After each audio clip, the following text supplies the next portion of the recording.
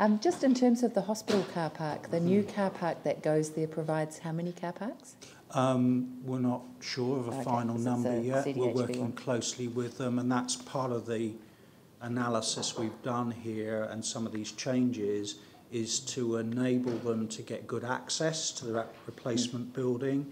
It's quite likely that where the the, the previous access was wholly off of Antigua Street, um, these proposals would lend themselves at least to a second access from St Asaph Street, which works better with the traffic network. Not instead of, but probably as well as. Thank you. Any other questions on Durham Cambridge? Glenn? Oh, no, no, mine's back at hospital corner. Oh no, you've missed your chance on that. go for it, go for it. Sorry, should have got it before. I mentioned it. Just so- minor, but uh, yeah, thank you. Still of some significance. Uh, the Presbyterian Church sold land there to CERA. I think uh, there was an undertaking given that the stone cairn, as a memorial to the uh, or commemorating that site, uh, you know, by the deans and others, would be kept. Is that still the case? That's corner of uh, Oxford and Antigua. Um, the proposals before council this afternoon um, include the widening of Tuam Street at that location. And so, as I understand it, negotiations are taking place between CDHB and CERA over the use of that land.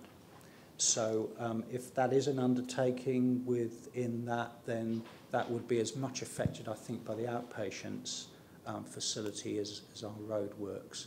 Um, I think we probably have to back to you. So this is between query. CERA and the Presbyterian Church. It's not really our doing.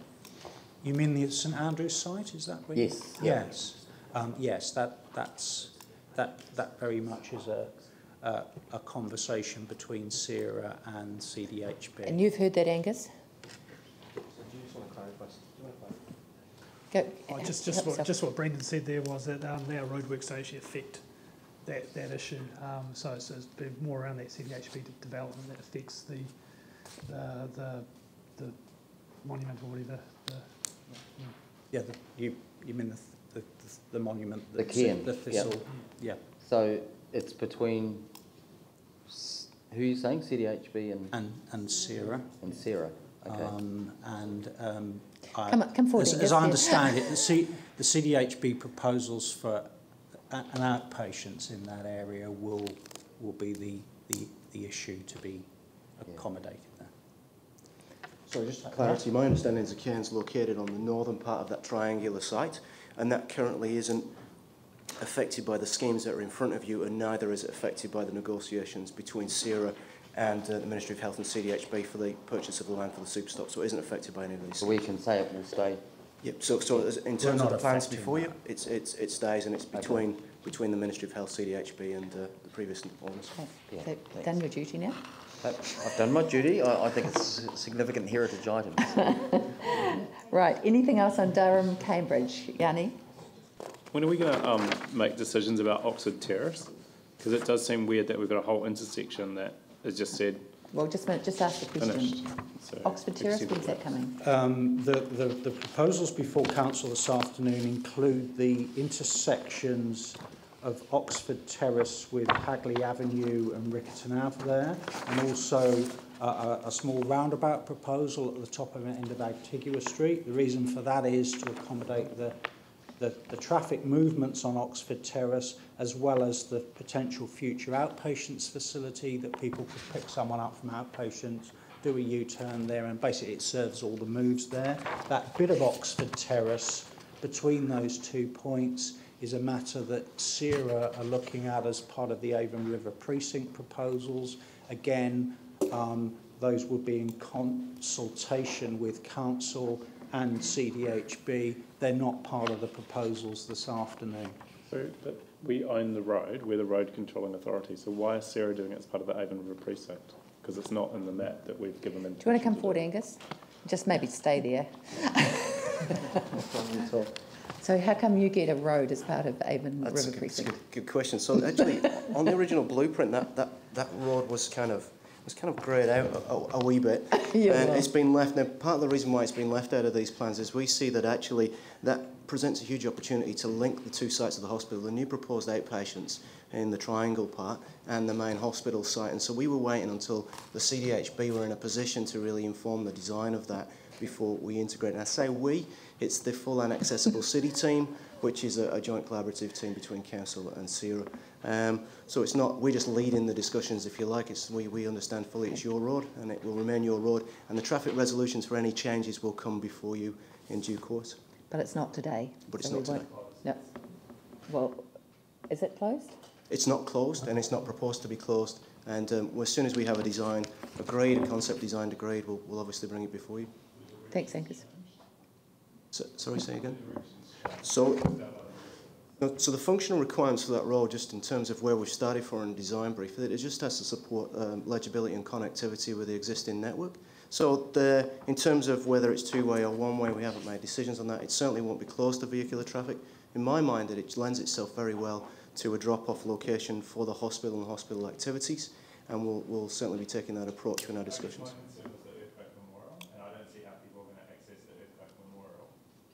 Through these these changes um, without But you'll be acutely aware of protection. that. So I mean, particularly people with disabilities or um, people that you know may have injuries that want to park close. I, I can't see any way in which we have accessibility for the memorial. How do they get there? So the present way, if you want to get vehicle activity uh, or vehicular access to the earthquake memorial, um, from the west you would head down Tuam Street, you would turn left up um, Durham Street on the new section of one-way traffic, and then left into Oxford Terrace, and there'll be provisions for disability, disability parking. That's my Right. understanding. All the designs haven't been finalised. Yeah. Okay, thank you. Are there any other questions on Durham Cambridge? If not, I'm taking that as okay, unless somebody's got amendments that they want to tell us about. No? Okay, so Manchester Street. Moving on to Manchester Turning Street. on- You want to outline where you've gotten to latterly, Yes. without, without maybe quite so much on the history of it, because I think Right. So um, the key submissions made on the Manchester Street proposals were um, some concerns from central city businesses and developments about proposals in the draft plans to prohibit southbound right turns into Armagh Street, Cashel Street and High Street. So there were some significant concerns there raised by central city developers over that. Um, and so um, the reason for those changes being proposed in the first place were to maintain bus priority through the corridor. Um, subsequent detailed design work around the functionality of the corridor have actually led the design team to consider those submissions. And so before council this afternoon, we are proposing that those existing available right turns into Armagh Street and into Cashel Street will be retained as they were previously. So submitters have been informed about that proposal. We're proposing that High Street connection with Manchester Street would still remain left in, left, left out, as we were proposing it, uh, because that actually, um, you, you've got that very important right turn immediately south of there from Manchester Street into Lichfield Street, which gives vehicles access to the parking buildings there and also the important bus right turn into the new northern access to the, uh, to the interchange. So it's just really too close to Lichfield Street for in order for us to have a second right turn into High. So those were the primary submissions on Manchester Street, um, apart from the issue of the northbound bus superstop located between Hereford Street and Worcester Street, which has been the subject of the discussions and presentation at ITE committee last Thursday. Submitters um, uh, came before committee over that and in fact was the subject of uh, section 339 Local Government Act hearing over the shelter proposals themselves which was considered by the panel chaired by uh, Councillor Gough on the 11th of August, which found against four optional designs for the shelter structures themselves at that location. So, Madam Chair, um, turning to uh, that matter then, uh, in, in the committee's recommendations to council today of last uh, Thursday, um, committee asked us to come back to council and to inform you about the alternatives for staggering the super stop in the opposite direction. So I just wonder if we could have those slides up now, please. Thank you. Um, so what we briefed committee on last week and which is attachment 10 to the um, committee papers today was um, optional assessments that were undertaken into where we located a super stop on Manchester Street. Um, we haven't actually got a big search area to find a suitable location for a bus super stop on that corridor. Um, the core services come out of the interchange, They turn left up Manchester Street and two of the core routes, that's the yellow and the orange line, then travel out to the east and northeast via Gloucester. And so any super stop located north of Gloucester Street would fail to service two important core frequent bus service routes.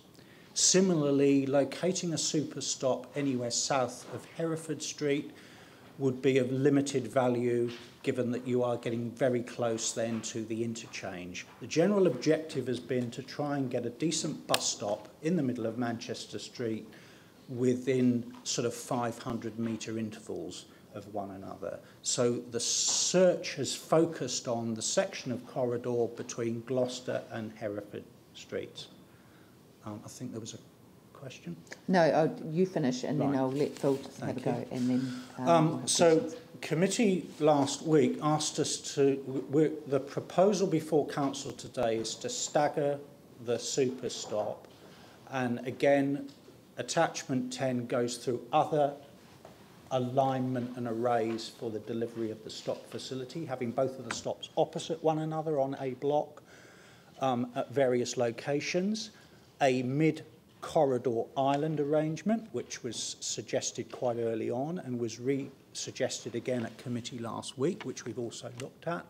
But the primary um, uh, recommendation from committee last week is that we should brief council this afternoon on the stagger arrangement, which the proposals contain, which is for the northbound super stop to be on the block between Worcester and Hereford Street, which places it outside the, the, the buildings that have attracted the submissions and objections to that. So that is Trinity Church, the replaced Shand's Emporium on that site, and other commercial developments likely to take place between Mexico Restaurant and the Trinity Church.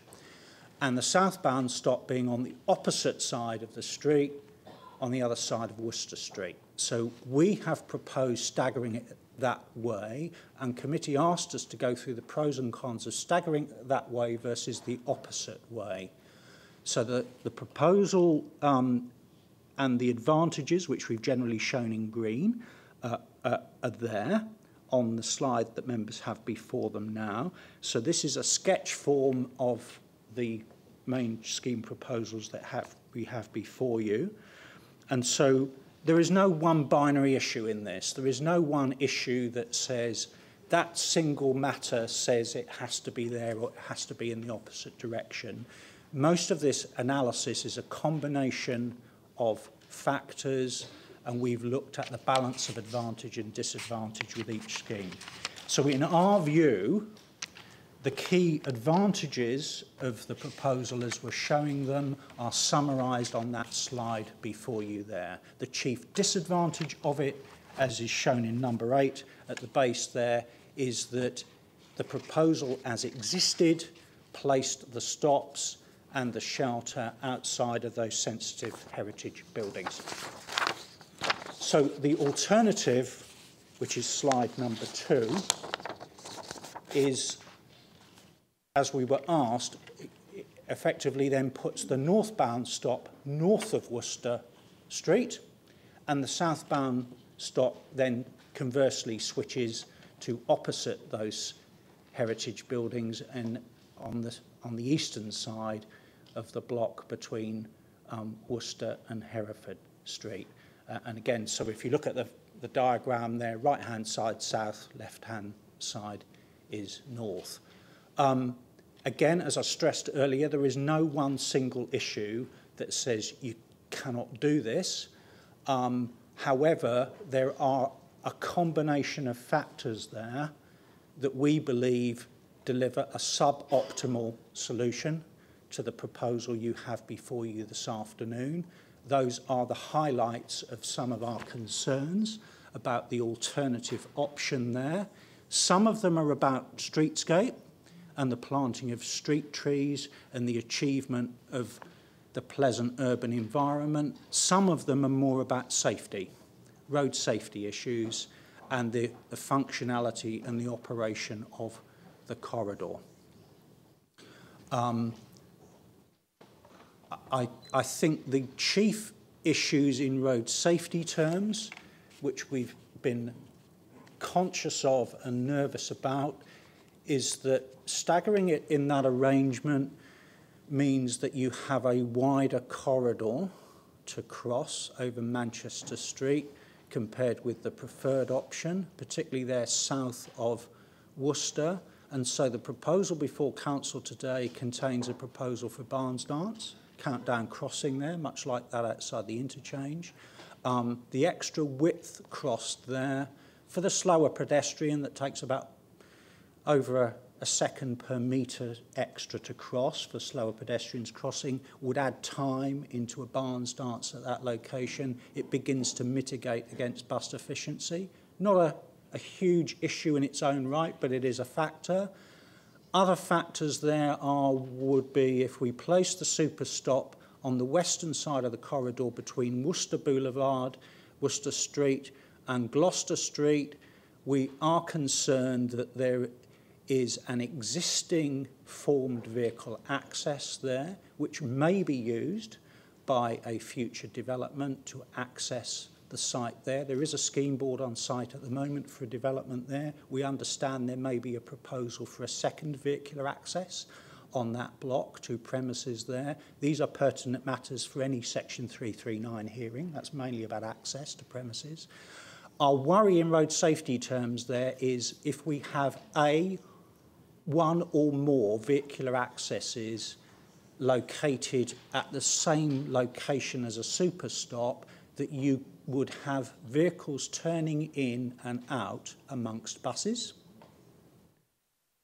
at, on the bays at that location, and in some shape or form they would be bisecting the footpath where pedestrians are actually waiting, travelling on the footpath and waiting for buses there.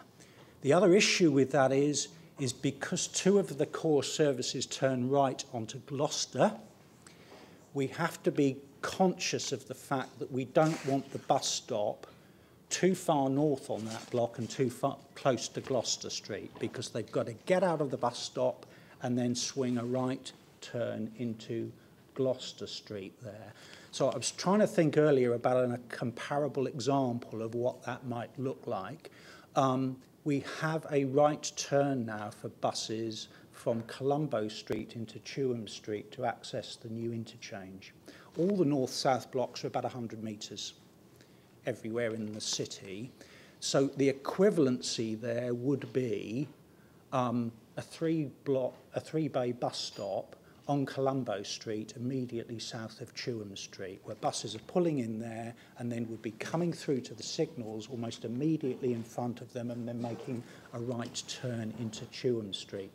It's quite a demanding move for drivers to undertake. In safety terms, our answer to that would be we would have to rephase the bus and traffic movements there every time we introduce an extra phase, as I think is shown on the diagram there, you get a further loss of bus efficiency on the corridor. So to try and sum up all of that, um, councillors, um, if we could go back to the previous one, please. Um, to try and sum up all of that, um, I, I've spent 20 years being a road safety engineer and a safety auditor, and I've been out to the scenes of road crashes and accidents after they've, uh, they've happened. And we do forensic analysis of what led to the accident.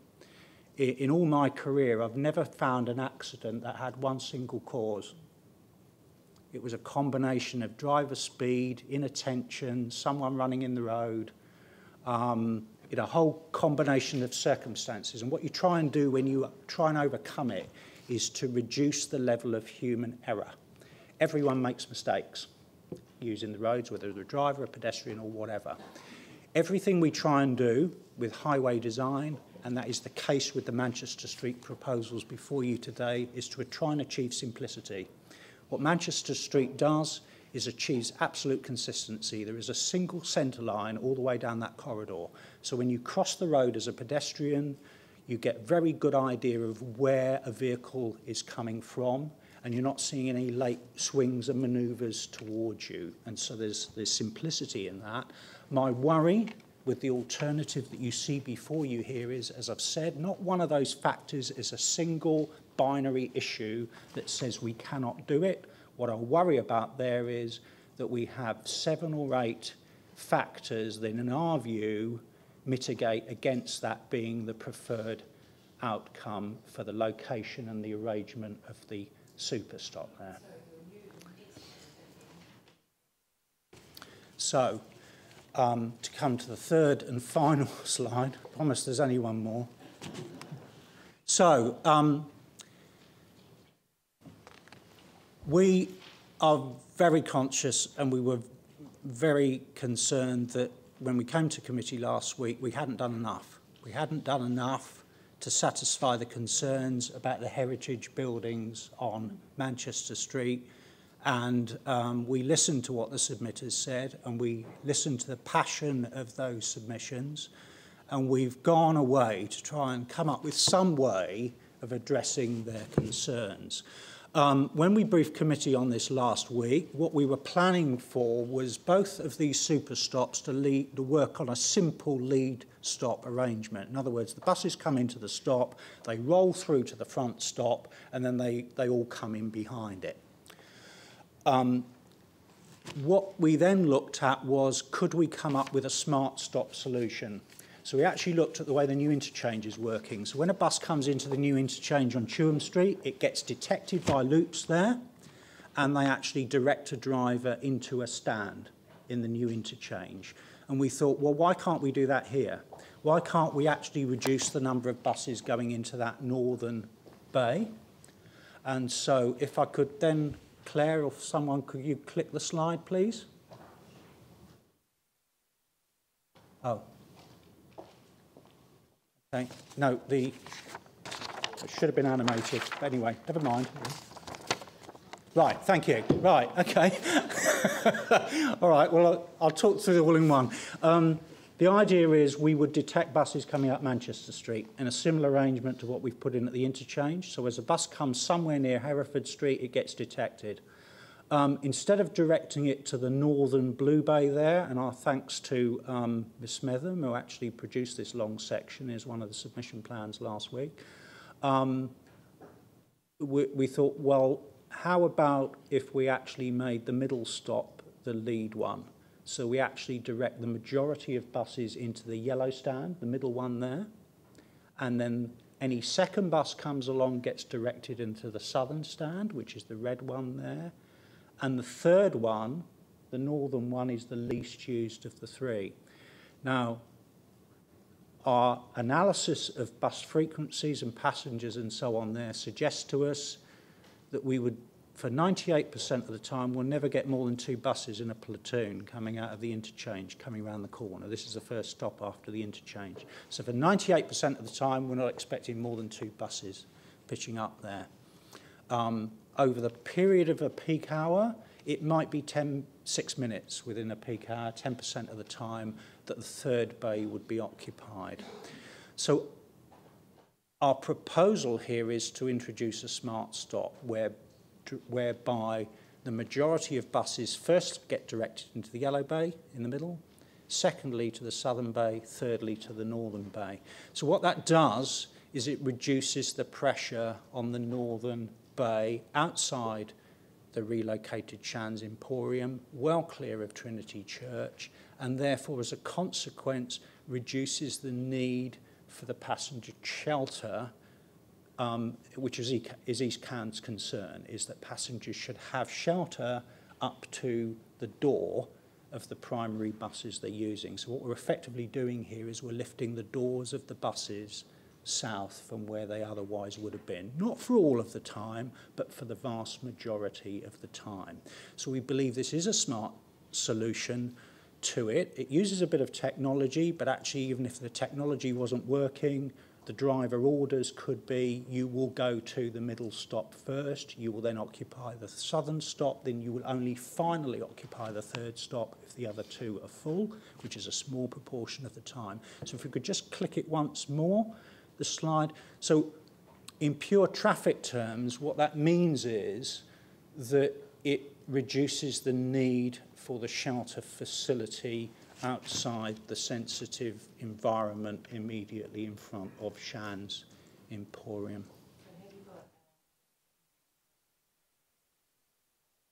No. Um, I but um, so I've, we've, ju- we've just merely done this to illustrate, and, and the, the, the, the hearings panel already concluded that a shelter of that kind will not exist there, it will not be placed there, and any design would be in consultation with the frontage owners there. What we are simply showing there, using Miss Smetham's long section there, is how this solution might significantly reduce the impact of not only the shelters but stationary buses in front of that building. There's one other tiny point with it, and that is in the resolutions we were planning to use what would have been the least used southern stop for a part-time loading and servicing bay there, i.e. up to 7.30 in the morning, after 7pm at night, could have been available to frontage premises and so on.